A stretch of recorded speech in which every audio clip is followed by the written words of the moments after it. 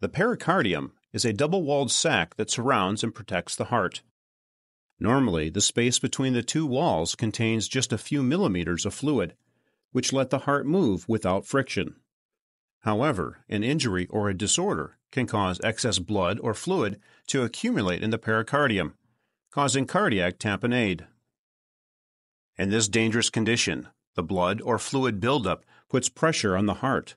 As a result, the heart can't expand completely or pump effectively.